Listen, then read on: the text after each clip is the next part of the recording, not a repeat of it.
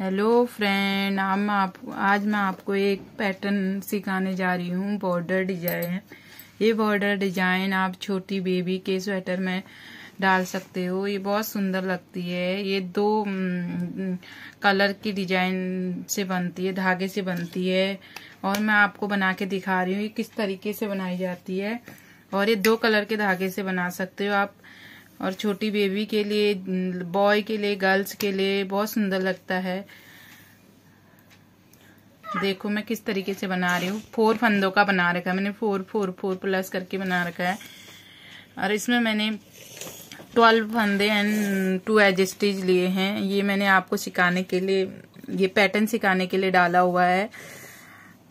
पहले मैं पहली फंदे डालने के बाद पहली सिलाई इसी तरीके से पूरी निकाल लेती हूँ। उल्टी उल्टी पूरी सिलाई निकाल लेती हूँ।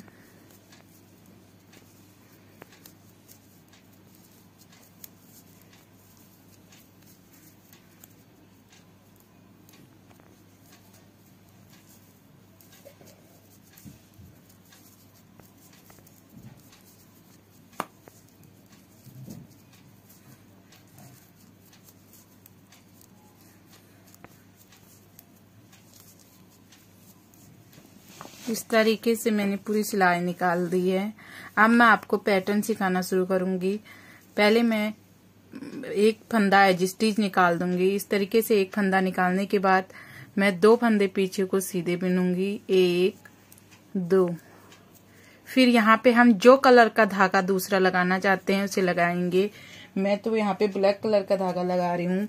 इसके इसके पीछे मैं दो दो फंदे ब्लैक से बिनूँगी पहले मैंने एक फंदा एजिस्टिज निकाला और दो फंदे सीधे बिने अब दो फंदे में ब्लैक से बिनूँगी एक, दो। दो फंदे ब्लैक से बिनने के बाद फिर मैं दो फंदे रेड से बिनूँगी एक, दो। फिर मैं दो फंदे ब्लैक से बिनूँगी एक, दो। फिर दो फंदे में रेड से बनूँगी एक, दो। इसी तरीके से डिज़ाइन बनेगी। पहली सिलाई इस तरीके से। एक, दो। और एक, एंड दो। और एक फंदा एज स्टिच इस तरीके से निकाल देना है। अब उल्टी सिलाई को, इन्हीं फंदों को रिपीट करना है। रेड का रेड और उल्टी उल्टी और रेड का रेड वाले को रेड से बिनना है और ब्लैक वाले को ब्लैक से बिनना है। इस तरीके से। यहाँ पे कोई डिज़ाइन कोई चेंज नहीं करना। दूसरी सिलाई हमें उल्टी ऐसे निकाल देनी है। इस तरीके से।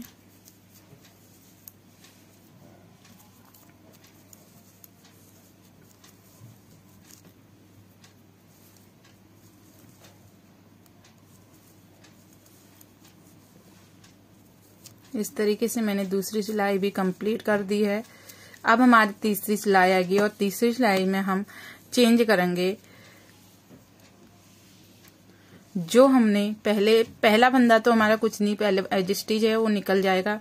अब हम, जो हमने पहले फंदे दो रेड से बिने थे, अब उसको हम दो ब्लैक से बिनेंगे। इस तरीके से। और जो ब्लैक से बिना था, उसको हम रेड से बिन लेंगे। एक, दो। दो फंदे रेड से बिन लेंगे।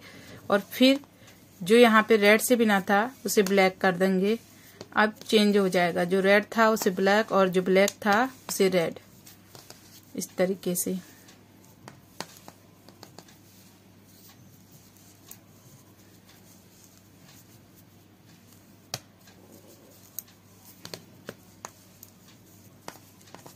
इसी तरीके से हमने पूरी सिलाई कंप्लीट कर ली है। तीसरी सिलाई भी कंप्लीट होगी अब चौथी सिलाई, उल्टी सिलाई, उसको हम जो रेड है, उसे रेड से निकाल देंगे और जो ब्लैक है, उससे ब्लैक निकाल देंगे। इस तरीके से ये ब्लैक है तो हमने ब्लैक से बिन लिया। यहाँ पे कोई चेंजेस नहीं होगी।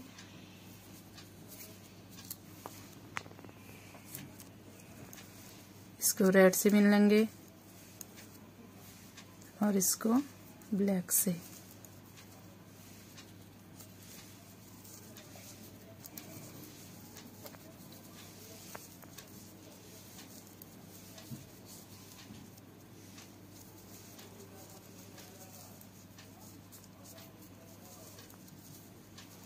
इस तरीके से हमारी चौथी सिलाई भी कंप्लीट होगी। अब हम आएँगे पांचवी सिलाई। पांचवी सिलाई में क्या करेंगे? जो हमने जो यहाँ पे हमने एक एज स्टिच निकालने के बाद जो रेड से बिना था, ना ब्लैक से बिना था, उसे रेड कर देंगे। और जो रेड से बिना था, उसे ब्लैक कर देंगे। इस तरीके से।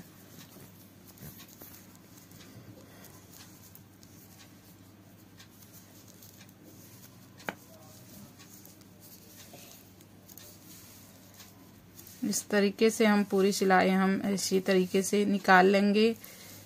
ये बिनने के बाद बहुत सुंदर लगती है और बच्चों को तो ये बहुत सुंदर लगती है। बच्चों पे बहुत ज़्यादा जस्ती भी है। अब हमारी ये सिलाई भी कंप्लीट हो गई। अब हम बॉर्डर की लास्ट सिलाई में आगे एक पैटर्न हमारा कंप्लीट हो गया है।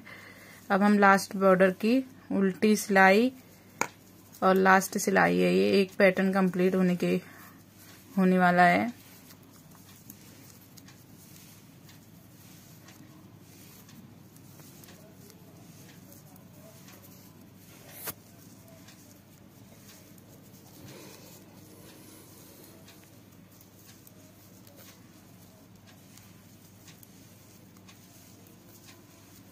इस तरीके से, ये कुछ इस तरीके से बन के आता है। और बनने के बाद ये इस तरीके से दिखता है। बहुत सुंदर डिज़ाइन है। ये डिज़ाइन इस तरीके से बन के आएगा।